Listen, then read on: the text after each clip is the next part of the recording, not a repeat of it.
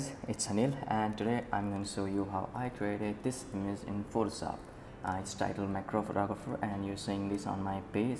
So when you have time and if you're on Facebook, do visit my page and let me know what you think. Um, the link is below in the description. Moving on. Moving on. So these are uh, these are the images I'm going to be working with. This is the mushroom part. Yes, the fly was already there this is the me part.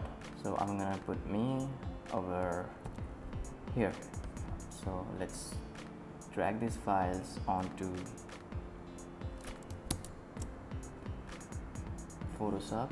I'm using Photoshop CS6 and okay so this is Camera Raw 7.1 and uh, in Camera Raw what I normally do is I go through I go through all these sliders starting with the white balance. Uh, that's fine for me. And exposure slightly contrast. So um, if, if you're new to camera raw what uh, you should do is you should go through all the sliders and play around with them. You know take them to uh, to the extreme right or the extreme left and see what the changes are and you'll get the basic idea of what the what they mean. Okay. Uh,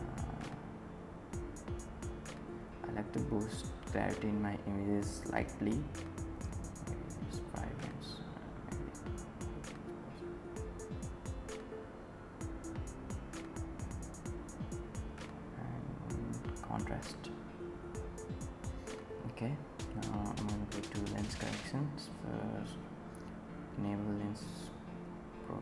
Canon yes that's my lens. Okay color remove chromatic aberration. And again I think it's slightly overexposed on the some part so uh, highlights. Down the highlights. Okay I guess I'm done with this image. Now moving on to this. Now I could go through all the settings again and try to match it manually but I don't have to do that. Just go to the image that you processed and select all and synchronize. And okay so these images are now synchronized mostly. Okay now select all and open images. Now the images will open in Photoshop okay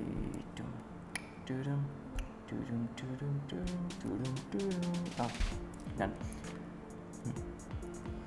okay so the first thing is I'm gonna make a rough selection around me. Uh, I'm gonna use magnetic lasso tool. So okay, starting from over here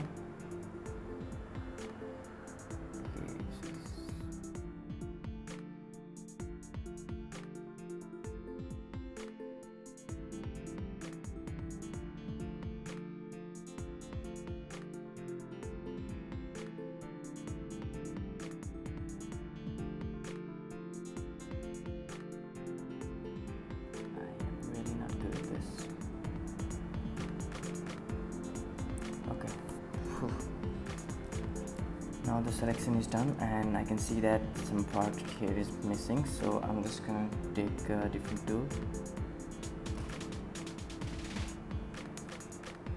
And press shift. Selection. Add it.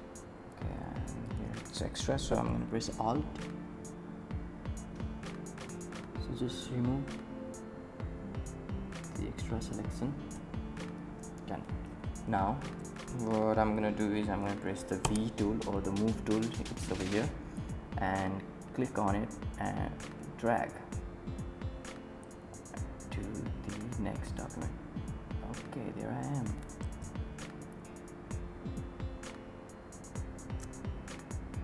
So I'm pressing shift and scaling so that uh, when I do that the proportion remains same. If I don't I can mess up with the figure so yeah pressing shift will help with that. Mm, I'm gonna position myself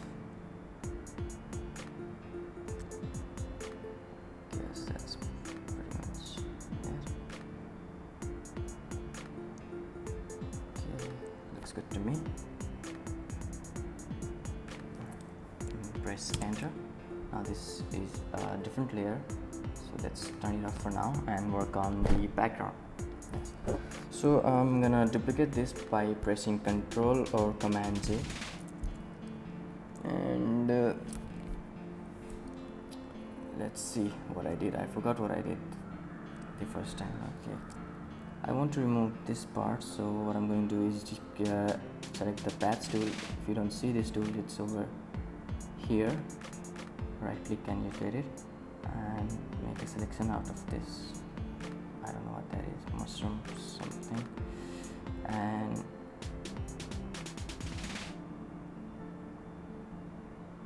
loading loading.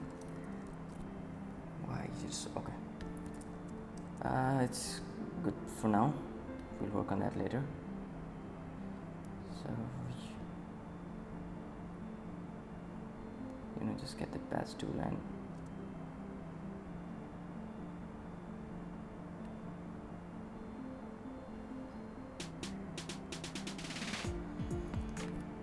this has content aware so it uh, kind of matches the background and tries to do its best.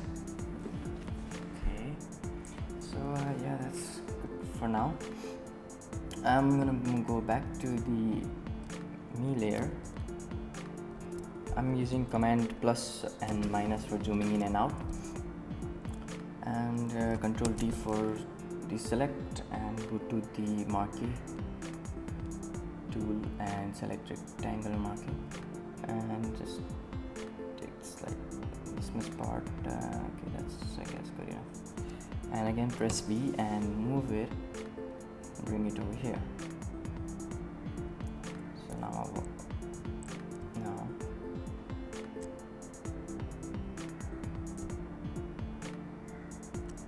Okay I'm to create a kind of a rocky surface over here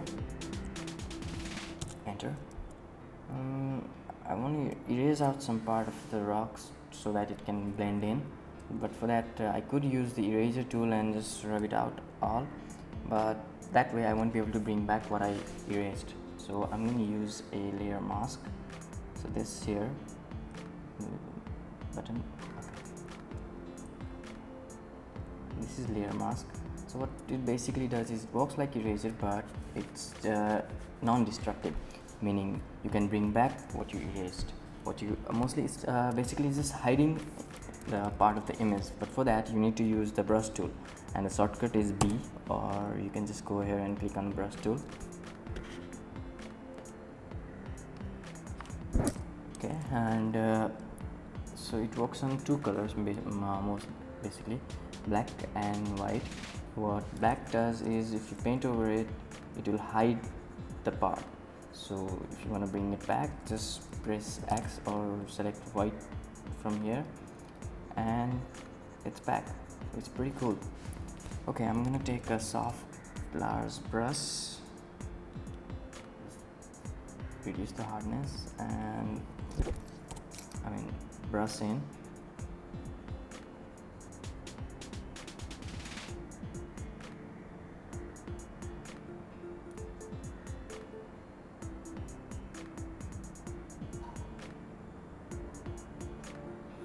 I'm doing this roughly just to give you the idea of what I did. So you can play around all you want with your own miniature self portraits of your, of your friend. So uh, okay that's good enough for now. So I'm going in me. V to move around. So uh, okay I want to do some masking on this layer as well so I'll just select the mask B to bring out the brush and again the same way. Just blending in slightly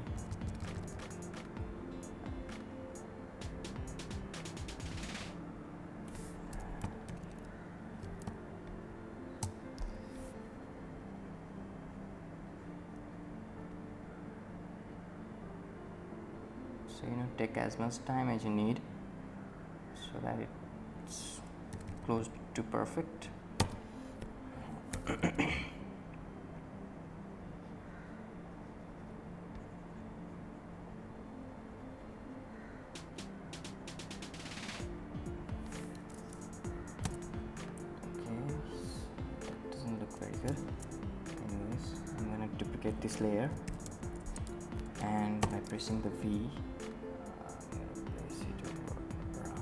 there. And again the, the mask is already there. So just press B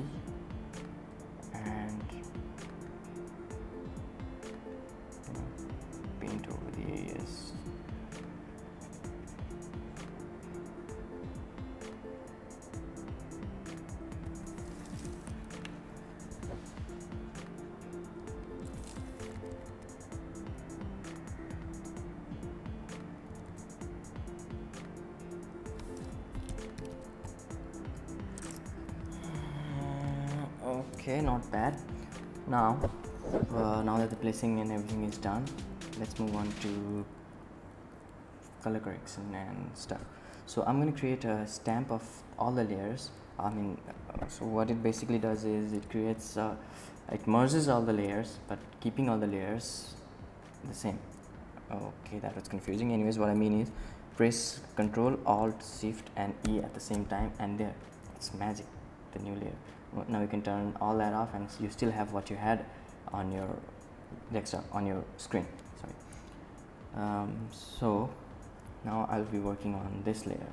I'm keeping the la- uh, layers below just in case I screw up and I need to go back and fix things. Now duplicate the layer by control Z.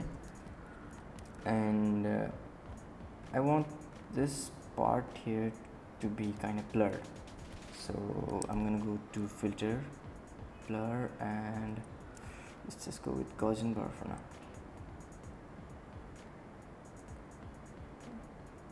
That's fine. That much is fine I guess.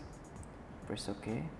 Now again uh, apply the mask but this time I'm gonna click on the mask uh, icon by pressing alt on this keyboard. So alt and press now what you do you see that the mask is all black already. So it hides the whole layer. Now I'm gonna go to brush. Okay it's already there. And select white color. And uh, brush in. Okay opacity. Okay. brush in the part which I want to be blurred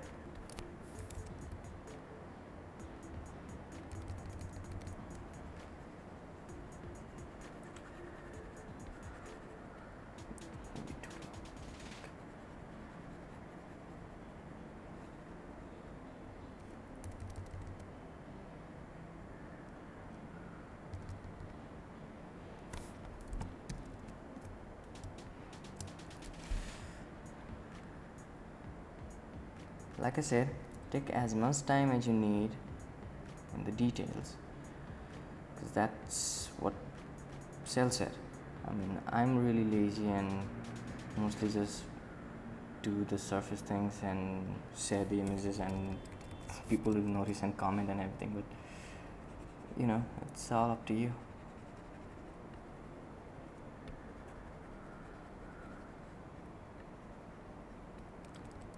Okay, even I'm a little too sharp considering the mushroom. Okay.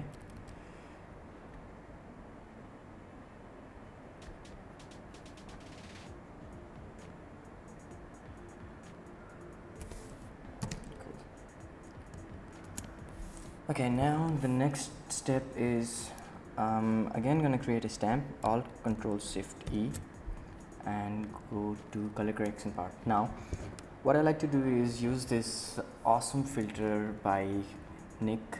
I think it's by Google now. Nik software called Color Efex Pro for color correction. But uh, you can do all that just by going to levels and stuff from Photoshop.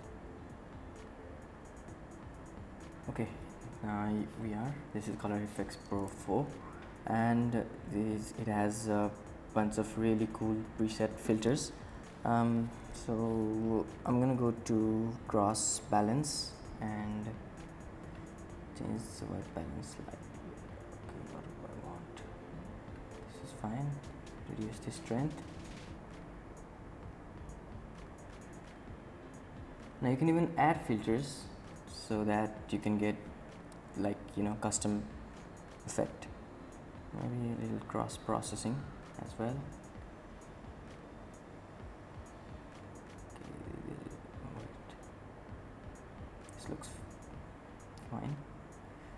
The strength a little. Okay. And again add filter. Uh, I'm gonna go down to Pro contrast and increase the dynamic contrast a little maybe slightly.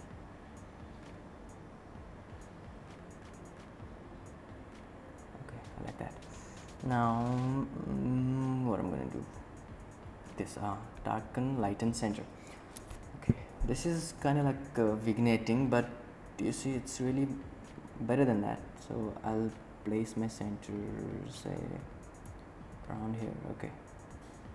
No wait. That's too high. Okay somewhere around there. Now just to pull the luminosity.